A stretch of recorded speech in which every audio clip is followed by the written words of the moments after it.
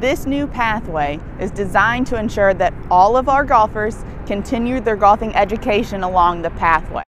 Everyone's going to start at the very beginning in what we call Welcome to Golf, where we're going to invite you to learn the very basics or ensure the basics of grip, stance, and posture. After that, you're going to go into clinics. You're going to do two of the four options that we have. We have putting, short game, irons, and driver.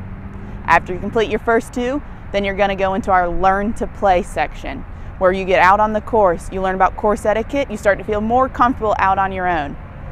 After that, the last two of the four clinics. So at this point, you've done Welcome to Golf, two clinics, Learn to Play, and you're on to your last two clinics.